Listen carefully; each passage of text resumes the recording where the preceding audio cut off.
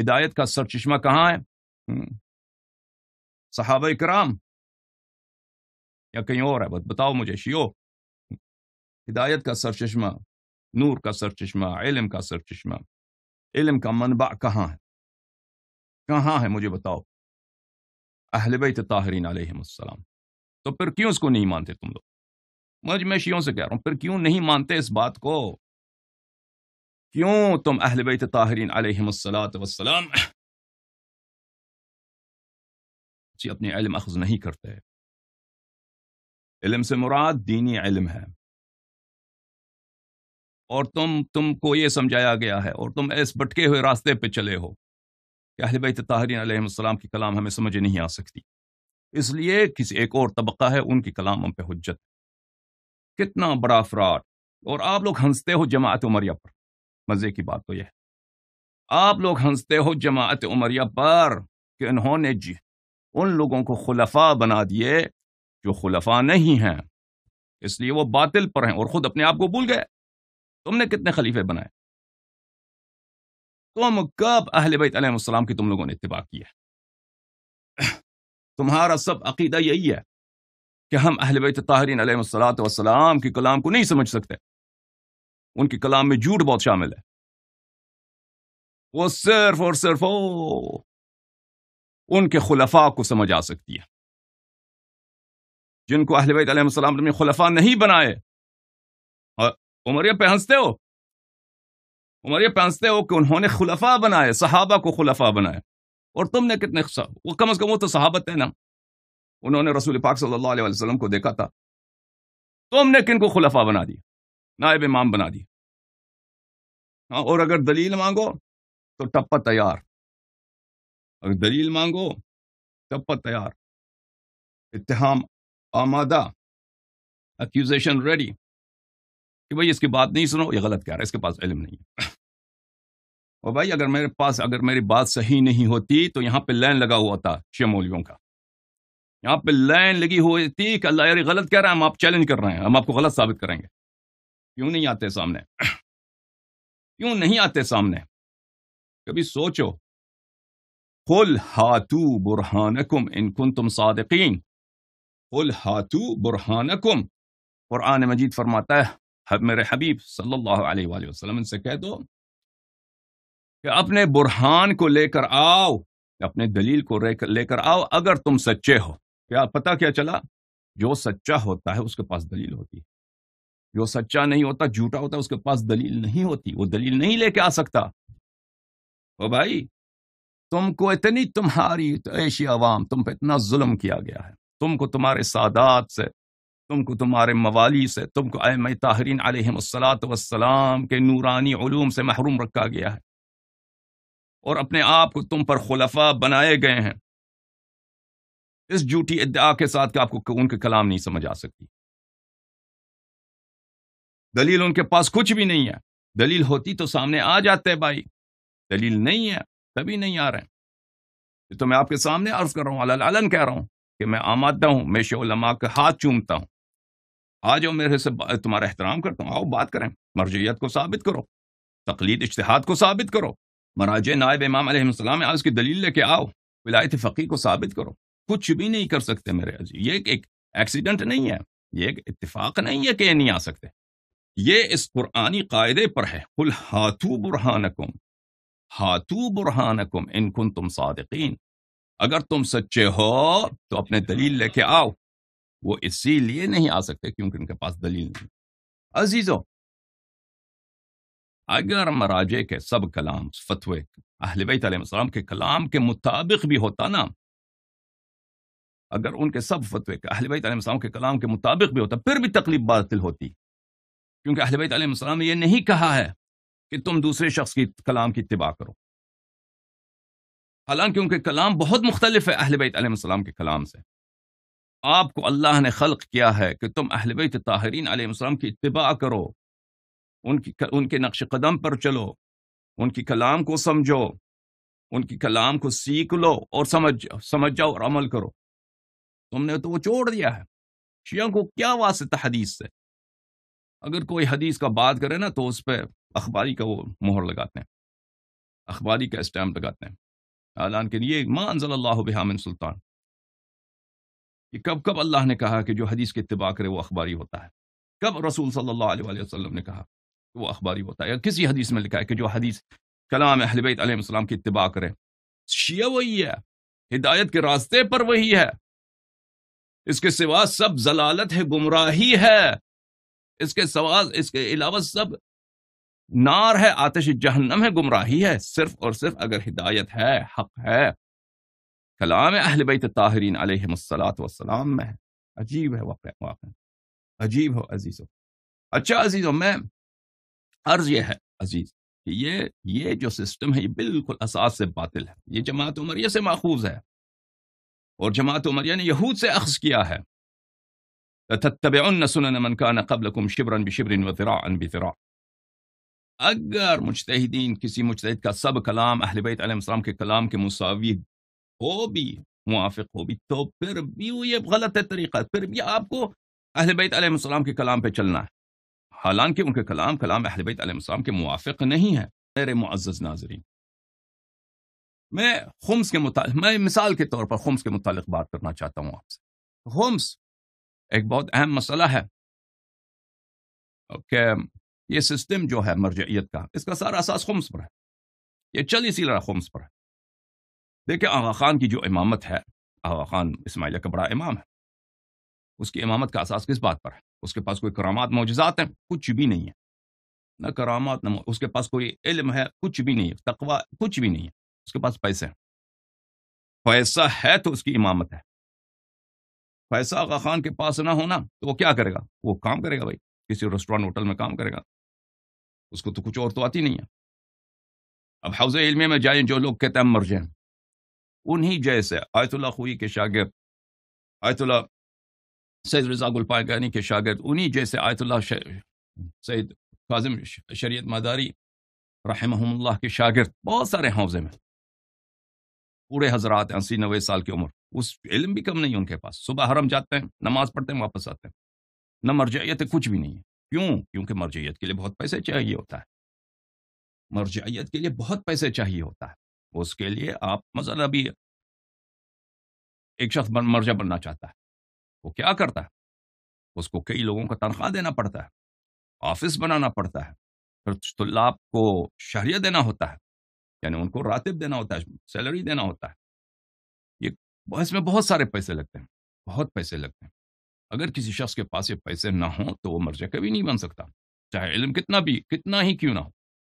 بہت سارے ہیں، میں آپ کی خدمت میں عرض کر رہا ہوں۔ بزرگ ہو ذرا، مجتہدین، عمر رسیدہ، کچھ بھی نہیں ہے۔ کھانے پینے کو بھی مشکل سے ان کے پاس۔ بیچارے حرم جاتے ہیں، کوئی حرم بھی نہیں جا سکتے اتنے بوڑھے ہو گئے وہ گھر کا خرچہ مشکل سے چلاتے ہیں۔ پیسے نہیں ہے مرجعیت نہیں ہے، ختم۔ مرجعیت کے لیے، شہرت کے لیے، پورا سسٹم ہے کہ اس کا، لیکن اس کا اساس پیسوں پر یہ، اور یہ ایک ویشس سائیکل چل رہا ہے خمس کی وجہ کہ خمس، شیعہ حضرات وہ کلا کو تسلیم کرتے ہیں۔ وہ کلا اس میں سے کچھ خود، اس میں سے آدھا یا سلس ون تھرڈ اپنے لے لیتے ہیں۔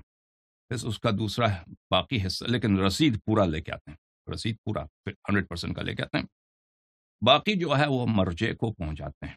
اور بہت سارے تو مرجے کو پہنچاتے بھی نہیں، خود وہ رسید لکھ لیتے ہیں، ان کے پاس رسید بنانے کی کیا مشکل ہو کون سا مشکل ہوتا ہے؟ اور پھر یہ مرجے کے پاس جاتا ہے۔ مرجا اس کو حوضے میں خرچ کرتا ہے۔ ظاہر یہی طریقہ کار۔ اب اس میں سے بہت سارا پیسہ ہے تو حوضے میں خرچ نہیں ہوتا۔ تو کیا یہ سسٹم شرعی سسٹم ہے؟ کیا اہل بیت طاہرین علیہ السلام نے یہ فرمایا ہے کہ شیعہ حضرات جو ہیں، اپنا خمس مرجے کو دے دیں۔ مشتحد کو دے دیں وہ نائب امام ہیں، یا ان کے وکیل کو دے دیں یا کم از کم ان سے اذن لیں، اجازت لیں۔ کہ بہت سارے لوگ آ جاتے ہیں نا کہ ہمارے پاس او خوئی صاحب سے اجازت ہے، سلس کی اجازت ہے، نصف کی اجازت ہے۔ لے کے آ جاتے ہیں کہ بھائی ہمیں سیستانی پاس کس کے پاس سے اجازت ہے۔ اس کی کیا شرعیت ہے؟ کیا مثلا مرجے واقع متولی ہے خمس کا؟ کہ خمس جو ہے مرجے کو دینا چاہیے۔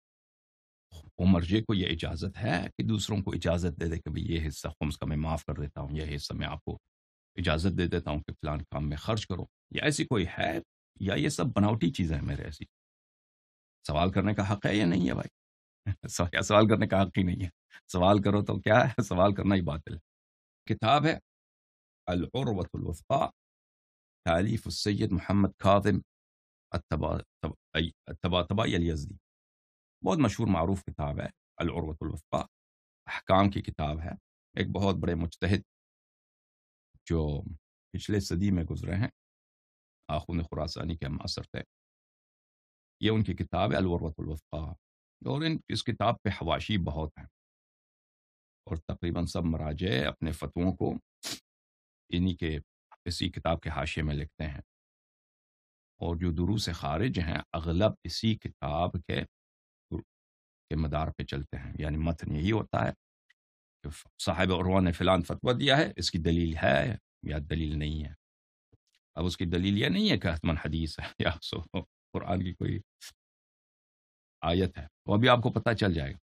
تو یہ کتاب ہے العروۃ الوفقا سید خادم یزدی کی۔ اور اس کے ذیل میں حواشی ہیں بہت سارے علماء کے۔ یہ کیونکہ بہت پرانی چاپ ہے کس کون کس نے کی ہے؟ بہت پرانا چاپ ہے باہر اس میں پرانے علماء جو ہیں ان کے حواشی ہیں۔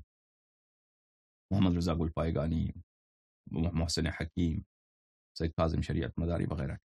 یہ صفحہ نمبر 447 میں کتاب الخمس میں ملاحظہ فرمائی ہے مسئلہ نمبر سات۔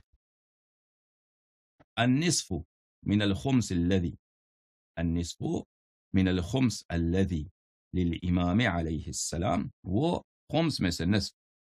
جو امام علیہ السلاۃ والسلام کے لیے ہے۔ امرہ فی زمان الغیبہ راجع الى نائبہ۔ اس کی اختیار جو ہے زمان غیبت میں، یہ اس کے نائب کے پاس۔ اچھا امام علیہ السلام کا نائب بھی ہے، بس پتہ چلا۔ اور نائب کون ہے؟ تو یہ سب باتیں جو ہیں عزیزوں ان کے لیے دلیل چاہیے کہ امام علیہ السلام کا نائب ہے۔ اور وہ نائب کون ہے؟ وہ المجتہد الجامع الشرائع نائب امام علیہ السلام کون ہے؟ مجتہد جامع الشرائع. تو حت اور یہ بات تو بہت مشہور ہے شیوں میں. او مشتحد نائب امام مشتحد نائب امام، مرجع نائب امام. اور اسی بات پہ ان کی بہت بڑی قداست ہے بھائی. آپ اعتراض نہیں کر سکتے کہ مرجع نے یہ کہا، اس کی دلیل کا اعتراض نہیں کر سکتے، ٹھیک ہے نا؟ کیونکہ وہ نائب امام ہے. نائب امام. اچھا۔ تو لازمی بات اتنی بات جو مشہور کی گئی ہے، اس کی کوئی دلیل بھی ہونی چاہیے؟ بلا وجہ تو نہیں ہو سکتی، ٹھیک ہے عزیزوں؟ فلاب پس خمس جو ہے، خمس کے دو حصے ہیں۔ ایک حصہ ہے سہم سعادات ایک حصہ ہے اللہ ولی رسول ولی دل قربہ یعنی اللہ کا حصہ، رسول صلی اللہ علیہ وسلم کا حصہ اور ذل قربہ کا حصہ۔ یہ تین حصے جو ہیں، یہ سب امام علیہ السلام۔ اور ولی التامہ والمساکین وابن السبیل وہ بنی ہاشم کے لیے۔ تو پہلے جو تین حصے ہیں وہ، ایک سہم ہے سہم امام علیہ السلام۔ یہ بھلے یہ کس کو جائے گا؟ یہ ان کے نائب کو جائے گا۔ درس غیبت کے زمانے میں نائب کے پاس جائے گا۔ نائب مشاہد ہے جامع شرائط ہے شرائط ہے فلا بد پس واجب ہے۔ من الایصال الیہ، کہ خمس کو مجتہد تک پہنچایا جائے۔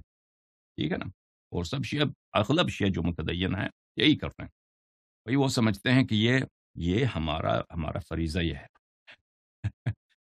کہ خمس جو ہے یہ مشتحد نائب امام ہے، فریضہ یہ ہے، امام علیہ السلام کا قول ہوگا بھائی۔ مشتحد تو وہ غلط فتویٰ تو نہیں دیتے مشتحد غلط فتویٰ دیتے؟ نہیں۔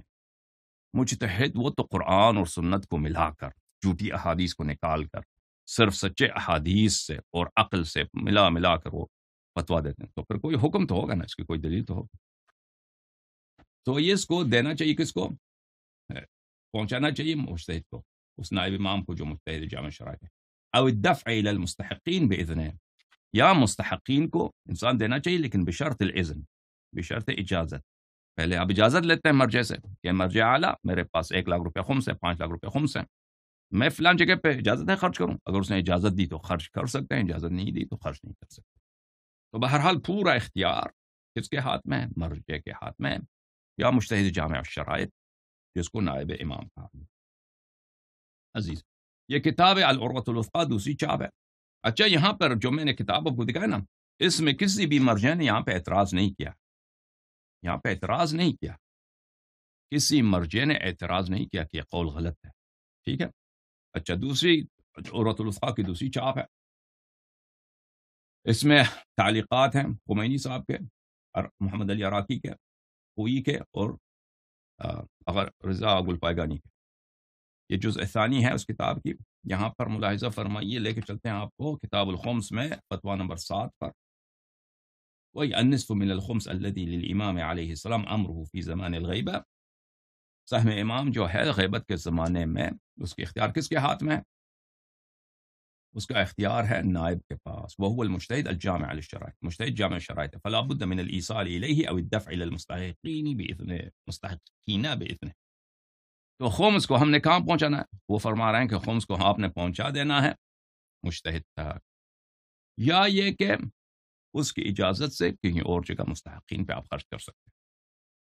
بہرحال اس کا اختیار کس کے ہاتھ میں؟ اس کا اختیار ہے مرجے کے ہاتھ میں۔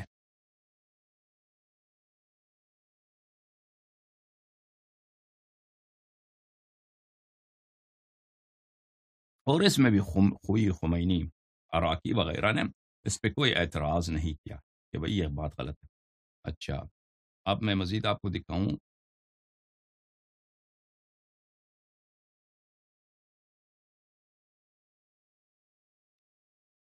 ایک اور فتویٰ بھی دکھاؤں تاکہ بالکل بات کامل ہو جائے۔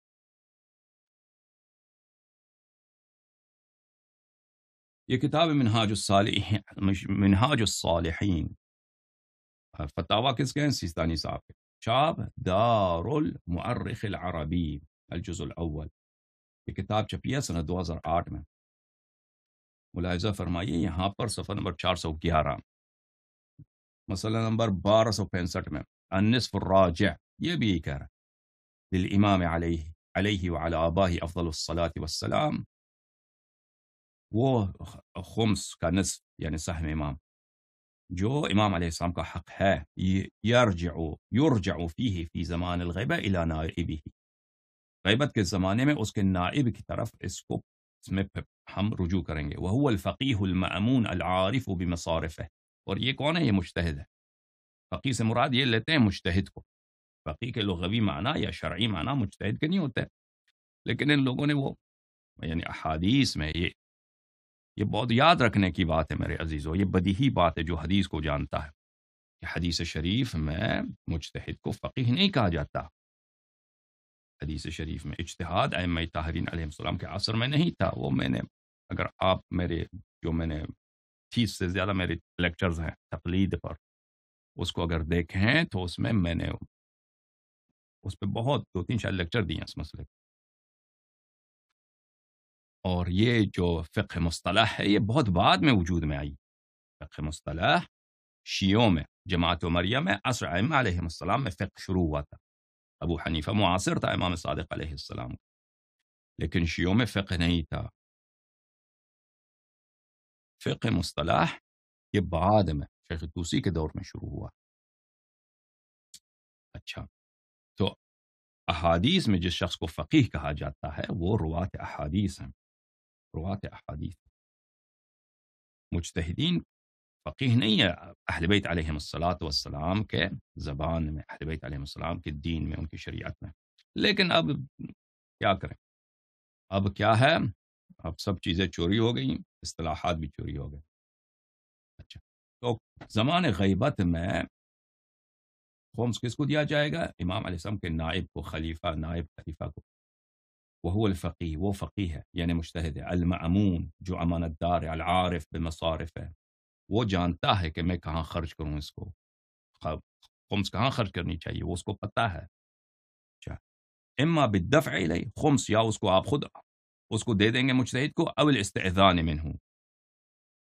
يا وس إذن لنجا مرجسك يا كرنجا إجازة لنجا باي هي خمس جو ہے إتنا خمس ہے فلان جگہ پاکستان میں سیلاب آئیں خرچ کریں وہ کہتا ہے اجازت دے دی میں نے، نصف خرچ کرو، وہ خرچ کر دیتا ہے، ٹھیک ہے نا؟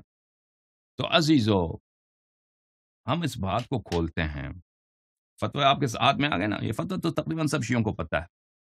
تقریباً سب شیوں کو پتہ ہے کہ فتویٰ ایسا ہی ہے کہ ہومس جو ہے کس کو دیا جاتا ہے؟ ہومس اب جو اس شخص کی تقلید کرتے ہیں، جو آپ کا مر جائے اس کو دیا جاتا ہے۔ اور ایک دفعہ اس کو دے دی۔ آپ نے آپ نے رسید لے لی اس سے۔ رسید نہ بھی لیا نا رسید نہ جہاں خمس مشتحد کو دے دیں یا مشتحد کے وکیل کو دے دیں یا وہ جگہ جہاں پر اس نے عزن دیا ہے کہ یہاں پہ خرچ کریں۔ وہاں پہ خرچ کریں، رسید ہو یا نہ ہو، براعت ذمہ آپ کی حاصل ہوگی۔ یعنی آپ کا جو گلا ہے، مسئولیت سے یہ چھٹ گئی۔ اب روز قیامت آپ سے پوچھا نہیں جائے گا۔ جیسے امام علیہ السلام، ہے نا، فرض کریں مدینے میں امام صادق علیہ السلام بیٹھے میں جا کے ان کو خمس دے دیتا ہوں بھائی وہ امام علیہ السلام جہاں میں میں نے ایک دفعہ خمس دے دیا میری ذمہ داری ختم پھر امام علیہ السلام جہاں پہ وہ خرچہ کرنا چاہیں کرنا میری ذمہ داری تو نہیں ہے اب شیوں کا بھی یہی تصور ہے آج کے زمانے میں شیوں کا یہی تصور ہے کہ مجتہد جو ہے نائب امام ہے مجتہد جو ہے خلیفہ امام ہے جانشین امام ہے وکیل امام اور ہم اس کو ایک دفعہ خمس دے دیں تو پھر ہماری ذمہ داری چھوٹ گئی پھر وہ جانے جو مرضی کریں۔ ہمارا پھر کوئی حساب کتاب نہیں ہے۔ یا مثلا اس کے وکیل کو دے دیں، جو شرعی اس کا وکیل ہوتا۔ وکیل آگے کیا کرتا؟ وہ میری ذمہ داری نہیں ہے۔ تو عزیزو، یہ سسٹم یہ ہے۔ سسٹم یہ ہے۔ پرشیوں کا عقیدہ یہ ہے۔ لیکن عزیزو، اس کی کیا کوئی دلیل ہے یا نہیں ہے؟ ہمیں پوچھنے کا حق ہے یا نہیں عزیزو؟ گناہ کبیرہ ہے، ہم پوچھیں بھائی۔ کس کا کوئی دلیل ہے یا نہیں؟ یہ بڑا فسق ہے۔ فسق اگر سوال کریں، بڑا فسق ہے۔ فسق اکبر ہے۔ عدالت اس سے ساقت ہو جاتی ہے اگر ہم یہ سوال کریں۔ یا عدالت اس سے ساقت نہیں ہوتی۔ آپ کیا سمجھتے ہو شیو اتنی بدی بات آپ کو سکھایا گیا ہے۔ رٹا لگایا گیا کہ مشتحد نائب امام مشتحد نائب امام مشتحد نائب امام۔ ٹھیک ہے، نمبر ایک۔ نمبر ٹو کہ خمس اس کو دے دو۔ اور اس کو دے دیا تو جان آپ کی چھٹ گئی۔ آپ وہ پھر آپ سے کوئی پوچھ کچھ نہیں ہے۔ جیسے تقلید میں ہے نا کہ مثلا مجھ پہ واجب ہے کہ میں عالم مجتہد کی تقلید کروں۔ وہ عالم فتویٰ دے دیتا ہے کہ بھئی یہ واجب ہے، یہ حرام ہے۔ پھر آگے میری ذمہ داری نہیں ہے کہ میں تحقیق کروں کہ یہ عالم جو ہے اس کا کلام، حدیث کے موافق ہے یا نہیں ہے۔ رسول اللہ صلی اللہ علیہ وسلم کی سنت کے موافق ہے یا نہیں ہے۔ کیوں کہ میرے لیے یہی حکم اسلام یہی ہے میرے لیے حجت یہی ہے جیسے قرآن حجت ہے حدیث حجت ہے نہیں میرے لیے کیا حجت ہے کلام مشتد حجت ہے میں جب تک اس کلام پہ عمل کروں، کرتا رہوں تو میری ذمہ داری ثابت ہو جاتی ہے. برات ذمہ حاصل ہے. اب روز قیامت اللہ مجھ سے سوال نہیں کر سکتا کہ تو نے یہ کیوں کیا؟ میرے میرے جواب، اے اللہ تو نے حکم دیا تھا؟ کیا؟ بھلے مشتحدین کی تقلید کرو. میں نے مشتحد کی تقلید کی، اس کا فتویٰ یہ اللہ تعالیٰ مجھے مجھ سے کوئی حساب نہیں لے گا۔ ٹھیک ہے نا؟ یہ اسی طرح اسی طرح مشیوں کا ایک عقیدہ ہے۔ تو عزیزو، یہ جو خلافت ہے، یہ جو نیابت ہے